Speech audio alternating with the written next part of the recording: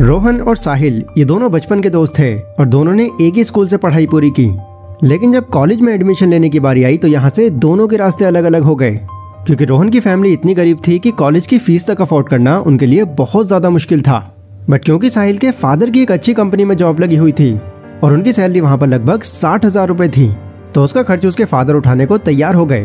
Because वो साहिल को भी एक बड़ी कंपनी में जॉब करते हुए देखना चाहते थे।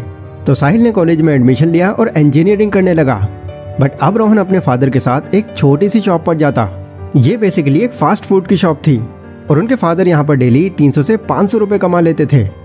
अब क्योंकि रोहन एक नई जनरेशन का लड़का था तो उसकी नज़र फास्ट फ़ूड के साथ साथ इस चीज़ पर भी रहती कि यहाँ मार्केट किस तरह की है और कौन कौन सी चीज़ें लोग ज़्यादा खाना प्रेफर कर रहे हैं। तो इस दौरान उसको यह पता चला कि यहाँ आसपास के कस्टमर्स अपनी बातों में कॉफ़ी का बहुत ज़िक्र करते हैं। और बोलते हैं कि काश यहाँ पर एक कॉफ़ी वाला भी होता तो मज़ा ही आ जाता। क्योंकि वो एक कॉरपोरेट प्लेस थी और 95 परसेंट लोग वहाँ पर जॉब वर्कर्स ही आते थे। बट फिर भी वहाँ दूर दूर तक कोई भी कॉफ़ी की शॉप नहीं थी। तो रोहन ने इस मौके को हाथ से छोड़ना ठीक नहीं समझा। एक दिन उसने अपने फादर से इस बारे में बात की और कहा कि, पापा, मुझे बस दस हज़ार रुपये की ज़रूरत है।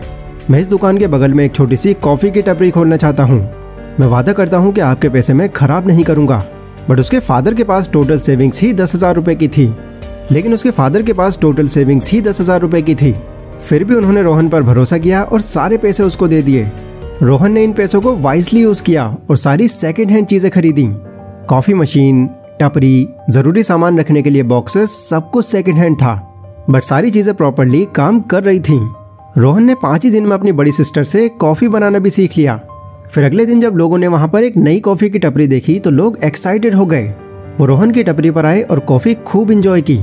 एंड शॉकिंगली पहले ही दिन उसकी सेल्स उसके फादर से भी ज़्यादा हो गई, क्योंकि फास्ट फ़ूड के मुकाबले कॉफ़ी की वहाँ पर बहुत ज़्यादा डिमांड थी। अब ऐसे ही रोहन और उसके फादर मिलकर डबल प्रॉफिट निकालने लगे। धीरे धीरे रोहन के कस्टमर्स बढ़ते ही जा रहे थे, क्योंकि रोहन की वर्ड ऑफ़ माउथ के थ्रू अपने आप ही मार्केटिंग हो रही थी। मतलब जो भी वहाँ पर कॉफ़ी पीने आता तो उसको वो कॉफ़ी इतनी पसंद आती कि वो हर किसी को यहाँ आने की सलाह देता। फिर इस तरह से बढ़ते हुए प्रेशर को देखकर रोहन को एक वर्कर हायर करना पड़ गया। अब रोहन खाली कॉफ़ी बनाता और वो वर्कर वहाँ की बाकी सारी चीज़ें मैनेज करता। फास्ट फॉरवर्ड करें तो लगभग चार सालों के बाद। अब तक रोहन अपनी कॉफ़ी शॉप के पाँच आउटलेट्स खड़े कर चुका था। और उसके फादर, जिनकी पहले एक फास्ट फ़ूड की शॉप थी, वो एक बड़े रेस्टोरेंट में तब्दील हो गई। रोहन ने अपनी कॉफ़ी शॉप का नाम बाप बेटा कॉफ़ी के नाम से रखा और ये बाप बेटा कॉफ़ी नाम अब काफ़ी पॉपुलर हो गया था। इधर साहिल की इंजीनियरिंग की पढ़ाई अब कंप्लीट हो गई थी। सिर्फ़ अब उसको एक इंटरव्यू पास करना था और वह एक बड़ी कंपनी में लग जाएगा। वेल, ऐसा वो सोच रहा था। कॉलेज से बाहर निकल जाने के बाद उसको अंदाज़ा हुआ कि इस फ़ील्ड में कितना कंपटीशन है। वो तो फिर भी एक नॉर्मल परसेंटेज से पास हुआ था। इस फ़ील्ड के जो टॉप स्टूडेंट्स थे, उनका भी किसी बड़ी कंपनी में लगना बहुत मुश्किल हो रहा था। क्योंकि उन जैसे भी इस लाइन में हज़ारों लाखों स्टूडेंट्स मौजूद थे। साहिल लगभग पाँच कंपनीज़ में इंटरव्यू दे चुका था और उन पाँचों इंटरव्यूज़ में या तो उसको सैलरी कम ऑफ़र की गई या फिर उसको रिजेक्ट ही कर दिया गया। अब इस तरह से उसको बार बार रिजेक्शन मिलते रहने पर उसकी फैमिली भी उसको ताने मारने लगी। उसको बार बार यही सुनने मिलता कि इतना पैसा तेरी पढ़ाई पर खर्च कर दिया, अब भी अपने दम पर कुछ नहीं कर पा रहा। फिर एक दिन वो परेशान होकर रोहन के पास गया। और बोला कि, यार, अगर मुझे पहले पता होता कि इंजीनियरिंग में इतना कंपटीशन है तो मैं कभी जाता ही नहीं इस फ़ील्ड में। सच बताऊँ तो जब तू कॉलेज में एडमिशन नहीं ले पाया था तो उस टाइम मुझे तेरे लिए बहुत बुरा लग रहा था। बस ये माइंड में चल रहा था कि मेरा तो बस करियर बन गया, पर तू कभी कामयाब नहीं हो पाएगा। पर आज देख, सब कुछ उल्टा हो गया। तो बिना कॉलेज जाए भी महीने के लाखों रुपए कमा रहा है। और मैं लगभग चार साल इंजीनियरिंग करने के बाद भी ऐसे बेरोजगार घूम रहा हूँ। मुझे कॉलेज जाना ही नहीं चाहिए था। तो इस पर रोहन बोला कि, भाई देख इसमें गलती तेरी नहीं है। दिक्कत इस एजुकेशन सिस्टम की है जो हमारी सोच को सिर्फ़ एक तरफा रखता है। तूने अपने टीचर से ये कहते तो ज़रूर सुना होगा कि इंजीनियरिंग पूरी करने के बाद तुम्हारी इस बड़ी कंपनी में जॉब लगेगी या तुमको साल का इतना पैकेज मिलेगा। बट किसने तुझे ये सिखाया है कि बाई चांस अगर तू इस फ़ील्ड में आगे नहीं बढ़ पाया तब तुझे क्या करना है? ऐसा तो मुझे आज तक किसी ने नहीं सिखाया। एग्जैक्टली exactly, स्कूल या कॉलेज ये चीज़ें तुमको सिखाएगा भी नहीं क्योंकि हमको एक एम्प्लॉय बनने के लिए तैयार करते हैं। न कि एक बिज़नेस ऑनर और ऑन्टरप्रिनर बनने के लिए। पर देख, इस चीज़ का ये मतलब नहीं है कि स्कूल या कॉलेज की एजुकेशन ठीक नहीं होती। बल्कि स्कूल तो हमारी लाइफ का वो स्टेप होता है जहाँ से हमारी थिंकिंग डेवलप होना शुरू होती है। बट फिर भी बहुत सी ऐसी चीज़ें हैं जो हमारे स्कूल या कॉलेज अगर हमको पहले ही सिखा देता तो फिर उसके बाद फाइनेंशियल तौर पर किसी को स्ट्रगल नहीं करना पड़ता।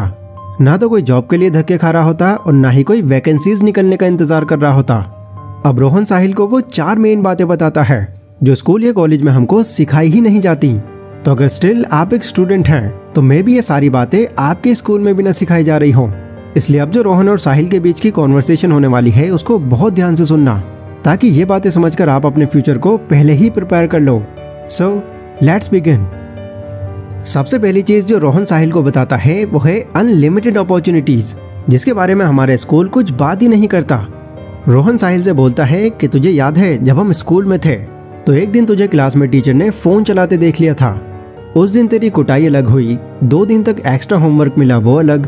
तेरे पेरेंट्स के सामने तुझे जलील किया गया वो अलग। और तो और तुझे प्रिंसिपल ने भी पनिश किया। पर एक बार जरा सोच।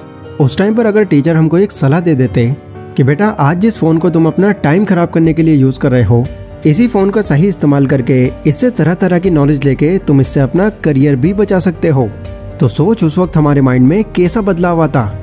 लेकिन ऐसा कुछ बिल्कुल नहीं कहा गया, क्योंकि स्कूल में इस तरह की सोच कोई रखता ही नहीं।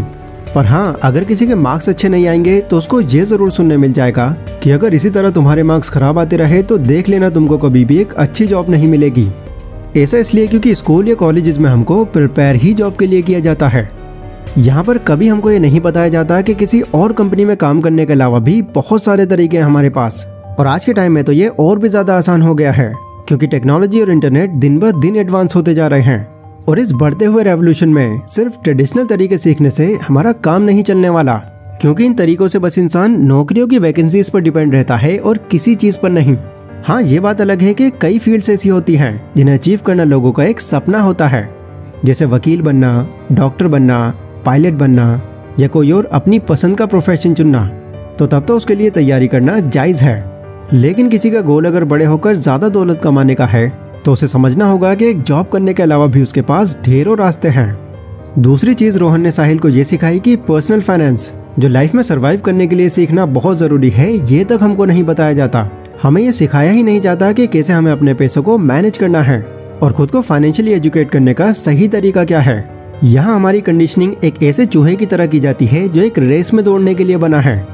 एक ऐसी रेस जिसके अंदर ऑलरेडी लाखों करोड़ों लोग भाग रहे हैं। हर दूसरा इंसान इस रेस में फंस जाता है और अपनी ज़िंदगी नाइन टू फाइव जॉब करते हुए पूरी बिता देता है।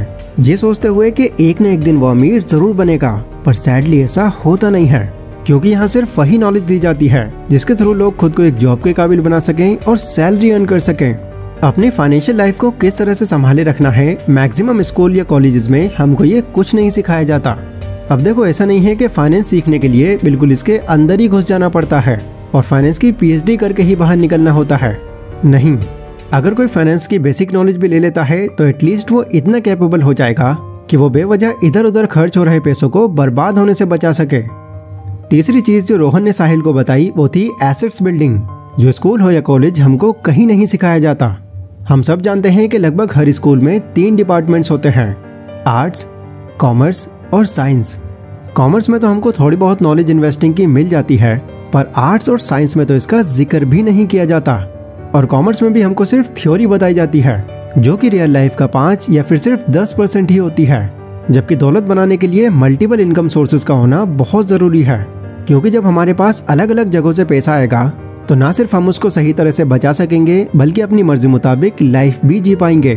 और ये तभी पॉसिबल हो पाएगा जब हमें एसेट्स कैसे बनते हैं इसकी जानकारी होगी। क्योंकि जैसा कि मैंने अभी बताया कि एक इनकम सोर्स पर आप अमीर नहीं बन सकते और एसेट्स आपको पता है, हम कई तरह से बना सकते हैं। मेरे इस बाप बेटा कॉफ़ी के तो जितने भी आउटलेट्स देख रहा है, ये सारे मेरे एसेट्स ही तो हैं, क्योंकि यहाँ पर मेरी कोई ज़्यादा रेगुलर इन्वॉल्वमेंट भी नहीं है। पर मुझे इन सारे आउटलेट से रेगुलर इनकम आ रही है। ऐसे ही अलग अलग लोगों के केस में उनके एसेट्स भी अलग अलग बनेंगे। कोई टाइम लगाकर एसेट्स बना सकता है, कोई किसी दूसरे के दम पर बना सकता है तो कोई पैसा लगाकर बना सकता है। पर इस तरह की बातें तूने स्कूल या कॉलेज में होते कभी नहीं देखी होंगी। अगली और आखिरी चीज़ रोहन ने साहिल को यह बताई कि लोगों से अपने फ़ायदे के लिए नेगोशिएट करना ये भी स्कूल में नहीं सिखाया जाता। रोहन बोलता है कि देख, यहाँ पर यह तो सिखा दिया जाता है कि एक अच्छे एम्प्लॉय कैसे बन सकते हैं, और किस तरह से उस कंपनी में हम अच्छा परफॉर्म कर सकते हैं। बट ये हमको बिल्कुल नहीं सिखाया जाता कि हमें अपनी काबिलियत के लिए कितने पैसे चार्ज करने चाहिए। मतलब किसी भी इंडिविजुअल या फिर कंपनी से नेगोशिएट कैसे किया जाता है, हमको ये भी नहीं सिखाया जाता। पर यह चीज़ हमारी असल ज़िंदगी में काम आने वाली बहुत ही ज़रूरी कला है। क्योंकि अगर तुमको अपने काम की असली वैल्यू ही पता नहीं होगी तो लोग तुम्हारे काम के बदले में तुमको हमेशा ही कंपेयर करेंगे। और ये चीज़ किसी भी इंसान के फ्यूचर के लिए एक बहुत ही नेगेटिव साइन है। एंड कई बार तो ऐसा भी होता है कि लोगों को उनके काम की वैल्यू का खुद भी नहीं पता होता। देन बाद में जब उनको फिर पता चलता है तो उनके पास फिर इतनी हिम्मत नहीं बच पाती कि अपनी मेहनत के हिसाब से वो सही कीमत की डिमांड कर सके। इसलिए ज़रूरी है कि इस कॉर्पोरेट वर्ल्ड में घुसने से पहले नेगोशिएशन की कला को सीखा जाए। अगर तुम्हारी कम्युनिकेशन स्किल अच्छी है और बहुत आसानी से तुम लोगों को कन्वेंस कर लेते हो तो फिर ये कला भी सीखना तुम्हारे लिए बच्चों का खेल होगा। अब ये सारी बातें खत्म हो जाने के बाद उसने साहिल को एक ऑफ़र दिया और उसको अपने साथ में काम पर रख लिया। तो दोस्तों, मैं उम्मीद करता हूँ कि इस पूरी वीडियो का क्या कॉन्सेप्ट है, ये आपको समझ आ गया होगा। इस वीडियो के थ्रू मेरा ये इंटेंशन नहीं है कि मैं स्कूल या कॉलेज को इनडायरेक्ट वे में क्रिटिसाइज कर रहा हूँ। मैं बस इतना चाहता हूँ कि ये ट्रेडिशनल तरीका जो इतने सालों से चलता आ रहा है, बस उसको अपग्रेड किया जाए और स्टूडेंट्स को ये सिखाया जाए कि अगर आप किसी जॉब में सेलेक्ट नहीं होते हो तो फिर भी आपके पास अनलिमिटेड ऐसे तरीके हैं जहाँ से आप करियर बना सकते हो अपना।